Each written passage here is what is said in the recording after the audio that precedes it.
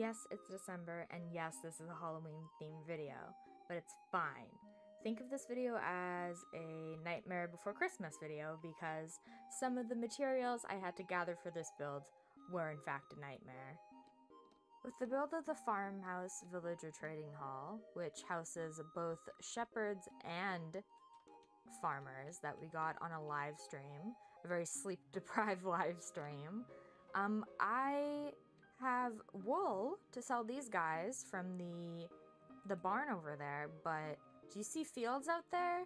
No, I have nothing to sell these farmers. But but that changes today because I would like um, emeralds eventually. So we're adding a giant wheat field in front of the farmhouse and the barn. And to the back here and diagonal, I guess, of the mud shack, we're adding a carrot field and a potato field. But we're not stopping at vegetables. We're also entering the fruit market. Um, is a pumpkin a fruit or a vegetable? Hold on. Let me look this up.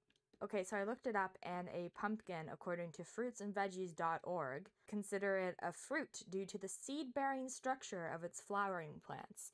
I also think it can be classified as a squash. Do with that what you will. We will be adding a whole new house over here which hides the automatic pumpkin and melon farm, complete with all of the fun fall activities like a pumpkin patch, a haunted maze, and a spooky little like haunted house walk minus the house because it's outside.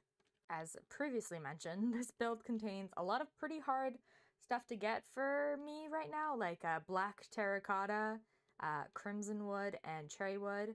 Uh, cherry wood is probably the easiest out of those because I simply just don't know where it is right now. And uh, since I don't know where Badlands is, you could probably see wh- where which way. Uh, there, right there. Uh, we are going to be making our own, our own terracotta, DIY terracotta, uh, right in front of the mud shack there. And um, as for the black dye, well.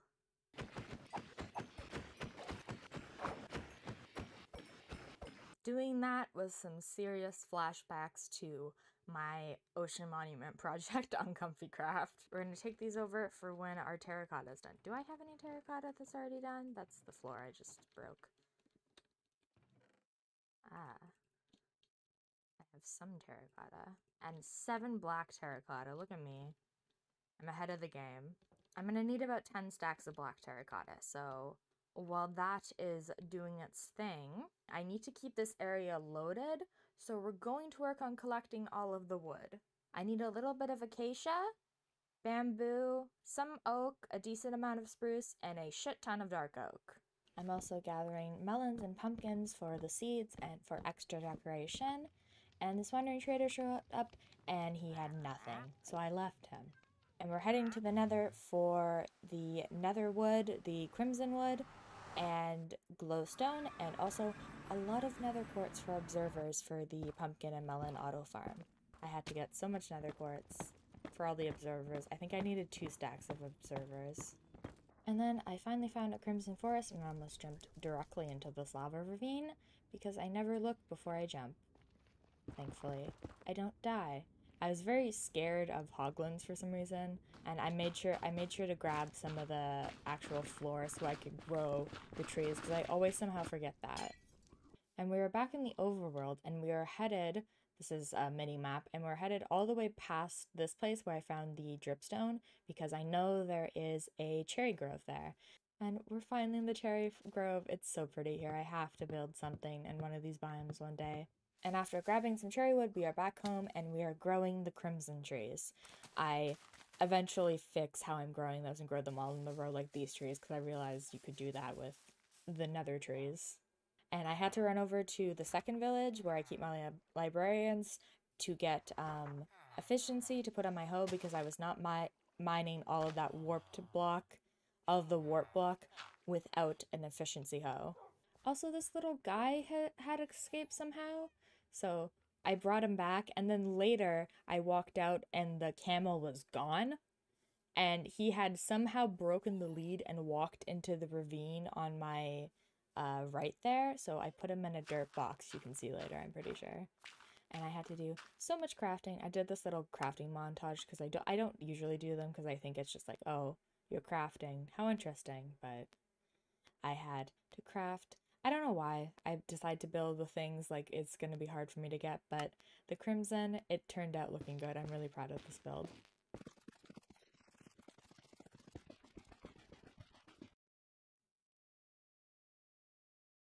And here I am mining the trees in an inefficient manner, but I fix it eventually. Here I am doing something even more inefficient. Uh, I had wheat, I just didn't realize because I forgot where I put it.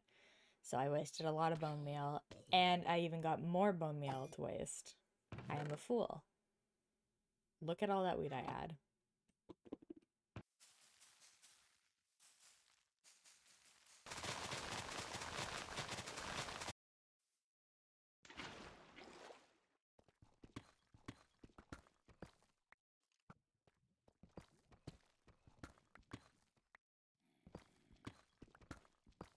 I've gathered most of the materials. I'm missing some, but we'll deal with that later.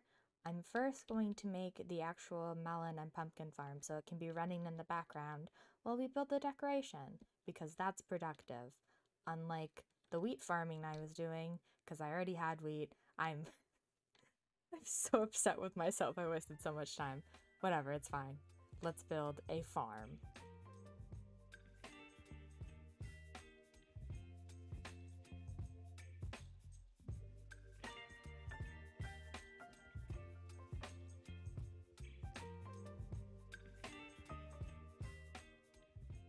I've completed the farm. Um, for the decorations for the actual build, I need a lot of um, odd blocks. I've gathered most of them, like I said, but I need candles. I don't have a bee farm yet, so we're gonna. There's a zombie. I can hear it. Hold on, I need to deal with this. Where? Anyways, ignoring that, I need to make bee farm for honeycomb to make candles for decoration. I'm going to make it behind the farmhouse over here uh, because the backyard is very empty and there's nothing there. So I will be back when the bees are in the backyard. I got carried away and I made a whole backyard garden. We have this lilac garden back here. These are lilacs, right? Yes. And then we got the beehives, and I think this will let me take the stuff without them getting mad, but I can also just do this, so. We got tomatoes. Use your imagination. These are tomatoes. This is a tomato bin. Hello, sir we got some potatoes and carrots and we got like big ones like uh I think these happen in Stardew Valley so I just think they're cute. Mm, got the little bees, god they're so cute. And we have just a little flower bed. I made sure to put lots of flowers over here so the bees don't like try to go find other flowers. Hopefully they will be happy. Okay. Moment of truth. Please don't attack me. Everything seems fine. Can we get a baby bee? Oops. Baby bee? Oh, so tiny. So little. Please don't die in the water. I'd be very sad. I am going to wait around here until uh, the bees make more honeycomb. Gosh. I need to terraform back here. Uh, the house is floating right now, um, but I'll deal with that later. I love building things months after I make them in creative because I'm just like, what the hell was I doing?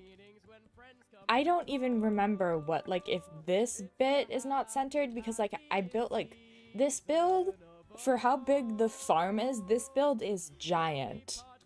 I don't know why I built it so big. I'm just like, it looks weird if it's not, like, it looked just so like off. And I was like, it has to be giant. It needs to be super big.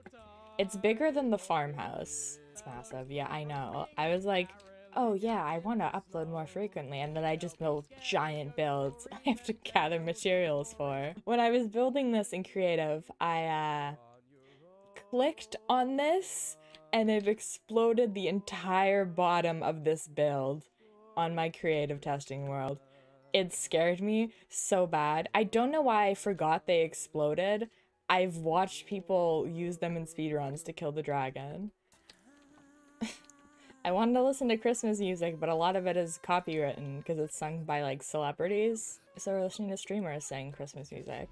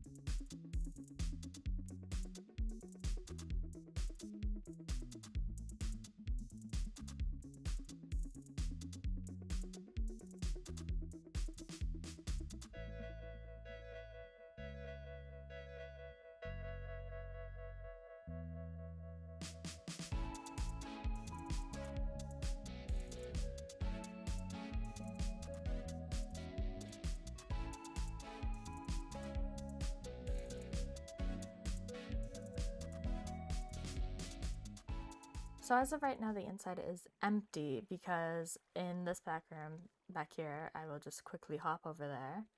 This one over here, the ceiling is going to be using Sculk uh, the up there. The ceiling is going to be using Sculk to like simulate like a magical night sky.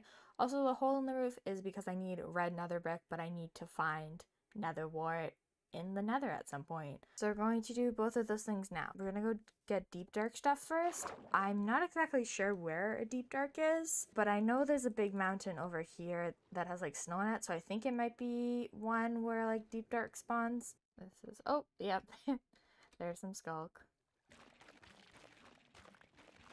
Now that everything's put away, uh, we have to go to the nether and um, hopefully there is another wart in that fortress. If not, that sucks. We also need to find a soul sand valley.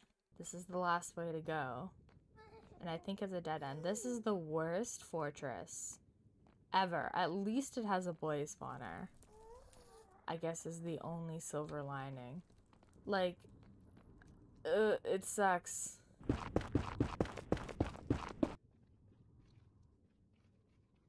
Oh, another fortress. That was quick. Nether wart. Yes. A double nether wart room after not having any?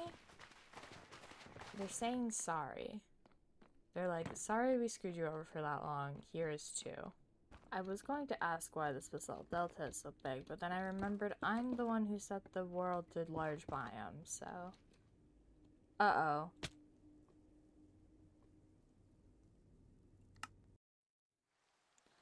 This is why we play with keep inventory on.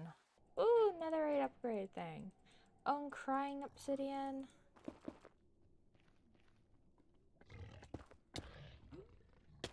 Oh, bad. Bad news, bad news, bad news, bad news, bad news, bad news, bad news, everything bad. Everything bad. Okay. He can hit taller than I assumed. Woo! Uh, uh, uh, uh, uh, uh. I keep blocking myself. Okay.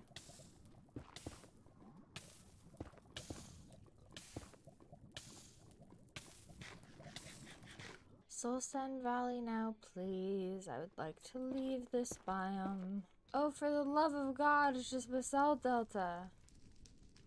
I've already been here. How? How did I do a circle? I will look at Chunkbase. I do not care. Okay. If I make this number negative, I should just be good. Soul sand! No! You cannot ruin this for me. I've come too far. I feel like this is an unfair advantage here. Brother. You're in the lava. Oh, there we go. Oh, one one on the way out. I'll give it to him.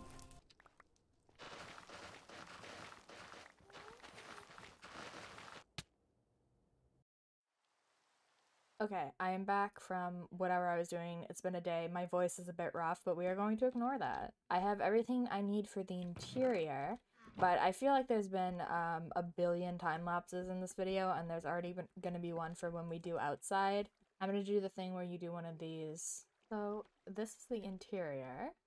I think it's very cute. I really like the uh, terracotta and cherry wood floor very pink in this room because of the white terracotta has a sort of pinkness. So i did a white ceiling to kind of brighten it up in here because it was it was pretty dark. The magical research room you can see what the sculk was used for up there. And upstairs isn't very decorated as you can see. It's just kind of bulk storage. And i'm gonna go into flycam because it's on the roof. And this is what i needed nether wart for besides um this stuff here for the chimney and then you can see it's the XP colors. And the windows if you can see that effect it's an eye and it follows you. I think that's really cool. I like the color palette of this build. It is still floating. Um that will be fixed later. Because right now we're focusing out here. Let me go back to my body. Yeah we're focusing out here uh, right now, it just looks like it plopped down on the land without a second thought. But we're going to do some fun terraforming stuff. And we've been here before. We all know how this ends. There we are. Hello. Like nothing even happened. Okay, so yeah, so the pumpkin patch, there's going to be some fun fall activities. But um, before that, back in October, when this was originally started filming, I'm really good at time management. Um, I went to a really really cute pumpkin patch and I recorded some stuff and I kind of I kind of want to include it in this video because um, I think it's because I think it's pretty cute. Uh, there were guys in the forest and they were singing and it was really nice. So I'm gonna include that while I work on the yard.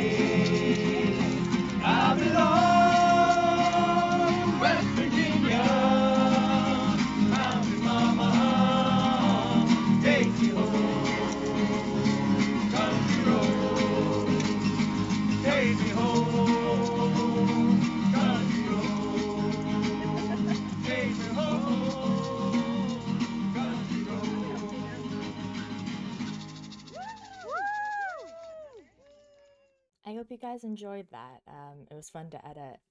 Um, so this is the yard. You can enter from the, of course, the front door, but also over here. So we got, I had extra pumpkins, so I just slammed them around. I'm ignoring the cave that's under here, I will deal with it later.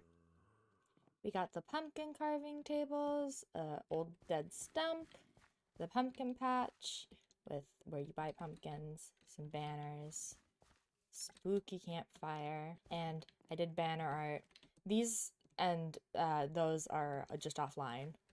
It's a little witch's cauldron. And then here's the the corn maze. We're using our imaginations because Minecraft does not have corn. There's little signs in it if you go the wrong way. And then we have a scarecrow with a straw hat. And over here we have like a haunted like walk because I didn't want to make another house. So we got the spooky spiders and dead tree and the gravestones and ghosts. You can tell I made these up myself. That they kind of this looks dumb. This looks like a cat. He's kind of funny. Also, there's a jump scare. I made a jump scare. And then this is for when you're eventually there's gonna eventually there's gonna be a path there so when you're walking this is here so this doesn't set off. That's also why that's there. So it only sets off when you're walking right in front of it. That's also why there's will here. You got floating eyeballs, we got pumpkin that's doing the little uh three face. And then this will have like treats in it eventually. But for this build, that's done. But I'm I bit off a little a little more than I could chew um, with this episode here. But I need to fill in these fields with potato, carrot, and wheat. Right now, it looks very sad. So I'm to do that and chat a little bit. Because uh, it's almost the end of the year. Which is strange to think about. 2024 that's not a real year. What? That doesn't that doesn't sound real. Yeah, 2024 is soon, which is weird to say. Um, this is not going to be my last video for this year. I have one more coming out on Friday if you're watching this when it was uploaded on Wednesday. I'm saying these dates out loud so I can hold myself to them. Um, because I swear I'm getting this episode out on Wednesday. So if you're watching it and it's Wednesday, uh, I did it. Yippee. Yeah, my the video that's gonna come out on Friday is uh, the 500 subscriber special, which uh, I'm gonna go into more detail of like thanking people and just a general thanks there, but I- I'm gonna say it now as well. Thank you so much for 500 subscribers. That's a wild number to me. That's so many people who have decided that they like my, my silly, silly little videos enough to hit the subscribe button. It's very cool. I enjoy doing them and I'm glad you guys enjoy watching them. I've got uh, big plans for this YouTube channel and uh, this survival world. I really, I really want this world to last for a while. And with the plans I have, it's gonna last for, for a while. Um, I know I originally started this world as like, oh, I'll draw and add it to every episode. But then I realized I was forcing myself to do what was essentially my homework from uh, my art class, and that was demotivating. So I'm not to do that, but I'll include little doodles here and then. Like uh, one of my episodes, I think it was the last one, I had my little, uh, my little skin do like a explanation when I live streamed. And this one I had that pumpkin face to censor people's faces because posting people's faces online is weird. But I still want to focus on improving my building because um, you may not know this about me, but I really like Minecraft. I know that may come as a shocker for some of you. Um, but this is my favorite game and I love world building and stuff, so me and my currently 14 page lore document are uh, are friends and it's going to expand and I'm very excited for this world. I want one of those like Minecraft worlds that are like 10 years old. Um, because it's just like, like this is stuff. Like imagine coming back here eh, 10 years later and seeing stuff I I built when I was 20. Oh my god, in 10 years I'll be 30. No, what? Ooh, ooh, ah. I don't want to think about that part. Um, oh, ew, concept of time passing, gross. Anywho, but yeah, this world is is really I really like it. I, it's gonna be great. I I have videos planned for all of 2024, like what I want to get done for this world. I will be back when this is done. So in three weeks.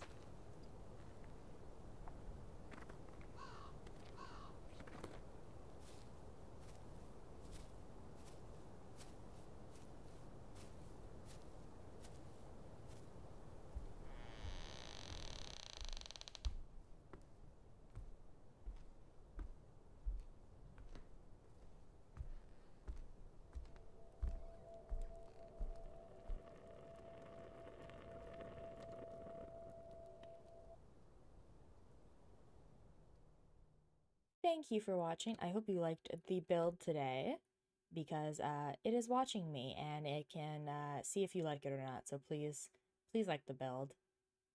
I don't know what it will do if you don't like it. We also planted all those fields today, so I finally have stuff to sell to the villagers along with the melon and pumpkin farm that is tucked into this build here. That will be all from me today. Once again, I hope you enjoyed, and if you liked the video, you can like it, and if you want to, you can subscribe.